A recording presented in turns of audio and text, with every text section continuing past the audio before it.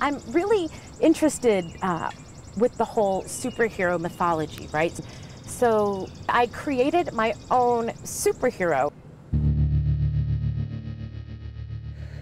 So Bipolar Girl, for me, represents this like fierce, determined, you're going to get out of bed. You're going to get up. Like almost like a little bit of a drill sergeant. Like you're going to keep trying and you're going to get up. We're going to do this today. Kacey the Wonder Dog is a sidekick, right? Which was based on my actual dog, Kacey. Um, and Kacey was present for me. Uh, she followed me all over. If I if I laid down on the couch, she would lay down next to me. So there was this loyalty and compassion. And then there was a third character that I understood as the creature, right? Which was this combination of shame and perfectionism and depression uh, and uh, primordial ooze bipolar girl isn't really me. I mean, she's a part of me, um, but I also think she is this kind of superhero character that I think helps keeps people going and keeps people alive even when it's it's just an incredibly difficult struggle. A big part of living with mental illness is shame. For, that's certainly been the case for me. Uh, and so part of me sort of engaging in my own healing process uh, was to start telling my own story. A film seemed to be the way to do it. I cannot get out of bed because I am sick with depression. I am not yet willing to admit my mind is not my own to manage. I would prefer to believe that my failure is one of the will and that it is my strength, not submission, that will set me free. Bipolar Girl Rules the World alternates between pieces of my own story uh, that have been illustrated by Emily Ensminger and then four other stories that focus on different characters.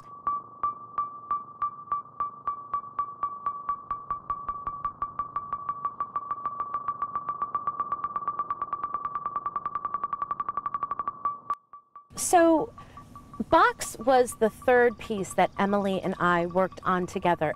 In this case, it is um, the character that I identify with most closely, kind of it, literally trapped in this box, and bipolar girl trying to get in, uh, you know, and, and just I'm banging against the wall, and uh, there's so much shame, and uh, this sort of uh, I don't doggy door of like compassion, right, opens and Kacey the Wonder Dog is able to get in and bring me some comfort and decrease that sense of shame and isolation.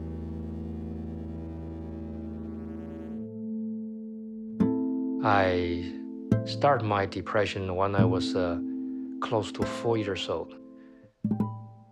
We were living in Beijing, China back then. Fear uh, begins with Zhang Luo as a child. Uh, in China during the Cultural Revolution, and his parents were taken away. His sister, who was 11 years old, took care of him. The story goes from that initial fear uh, and the way that it kept him safe in a country at a time when speaking against the government could have gotten him killed.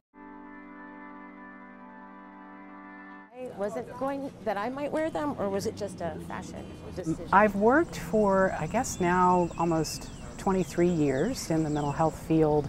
So I saw some of Dawn's films, and the most amazing thing to me about Dawn's work was one, how it resonated with me. I could see myself in some of the stories that she told, and then I could also see so many of the people that I had worked with over the years. And the stories were told so beautifully and so compellingly what I've seen when I hear people responding to Dawn's work is how it empowers them to start telling their own stories. And I think that's the most important way that we can address stigma. Is that if people can tell their stories and if we can recognize this sort of all encompassing humanity, that that's the way we're going to fight stigma. And if we can address stigma, then I think we can improve so many things um, in the way that we treat mental illness and the way that we respond to people who live with mental illness. Since the beginning of the project, I've described Bipolar Girl as an animated documentary and community engagement adventure.